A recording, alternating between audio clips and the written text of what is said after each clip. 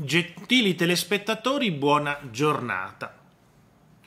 Matteo Renzi, ormai lo conosciamo, Matteo Renzi, il pizzino alla Meloni.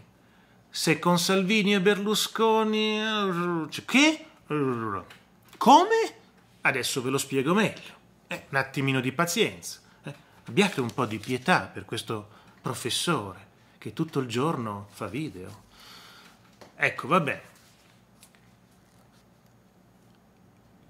Allora, chi ha permesso a Ignazio Maria Benito la Russa, come specificano nei programmi di sinistra, come dire, ma questo si chiama Benito? L'avete notato, no? Adesso non lo chiamano più Ignazio la Russa, lo chiamano Ignazio Benito Maria la Russa, perché nel, lui ha anche come nome Benito, allora... Uh, Maron, Maron. Urso si chiama Adolfo, Ignazio si chiama Benito, cioè Benito e Adolfo, no?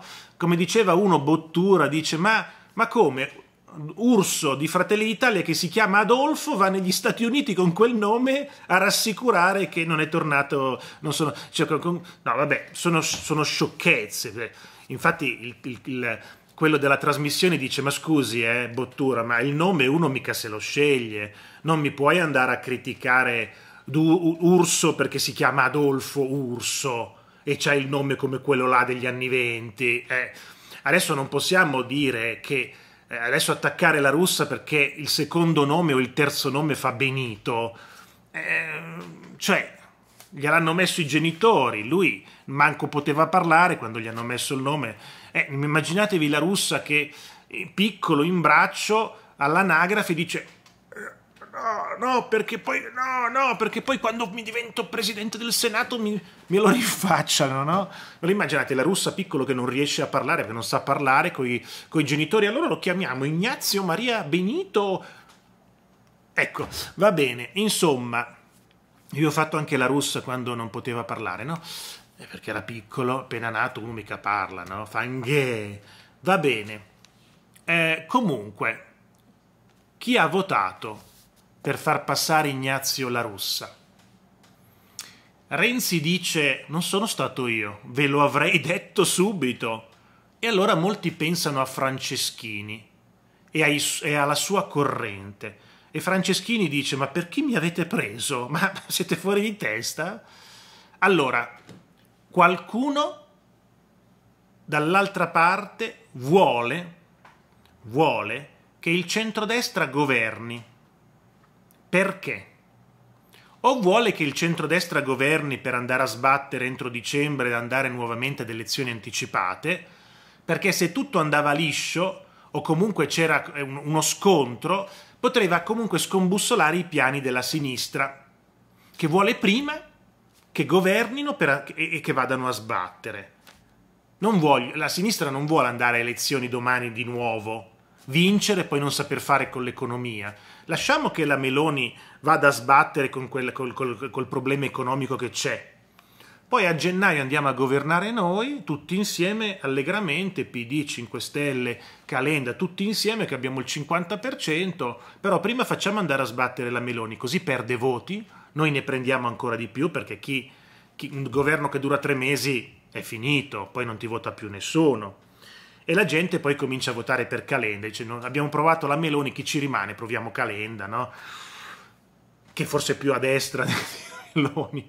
Poi scopriremo che anche Calenda si chiama eh, Benito Calenda, no, vabbè, a parte gli scherzi, chi ha votato per la russa. Se è qualcuno che ha votato per far andare a sbattere il governo Meloni, per farlo partire e farlo andare a sbattere, è anche plausibile, ve l'ho spiegato qual è la teoria, no?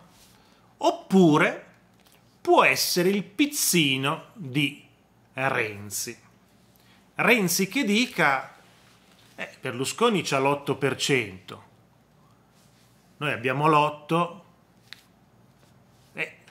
Berlusconi è arrabbiato, non vuole far cominciare il governo, la Meloni dice adesso che faccio? Non governo più? Non governo più? Che faccio? Eh? Allora potrebbe esserci Calenda e Renzi che fanno Ehi, ci siamo noi, siamo la coppia più bella del mondo. E Calenda e Renzi potrebbero dire Yuhu, ci siamo noi a fare il governo con voi. Secondo voi Salvini avrebbe problemi a fare un governo con Renzi e Calenda? No. La Meloni o così o a casa. E Calenda che ha detto mai con, eh, mai con quella gente, secondo voi? Ma non avete notato che Calenda è un uomo di destra? Non di centrodestra, ma di destra? Voi sapete che c'è la destra di destra e la destra di sinistra la destra di sinistra è uguale alla destra di destra. Adesso quello è un, un concetto un po' complicato, eh, ve lo spiego un'altra volta, ma Calenda è uno di destra, non di centrosinistra, di... questo è uno di destra, questo è uno di destra, è anche un duro. Finché è all'opposizione e deve contrastare Meloni, due persone di destra fanno le scintille, due persone di destra che stanno all'opposto di schieramenti fanno le scintille. Ma se due di destra, col carattere forte, con la stessa tipo di visione, li metti insieme, sono una potenza.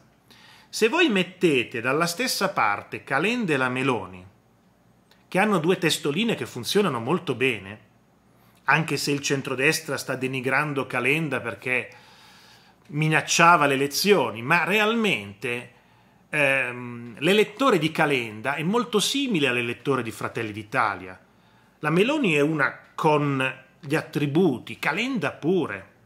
La Meloni dice le cose così come stanno e Calenda pure. Non hanno peli sulla lingua tutte e due.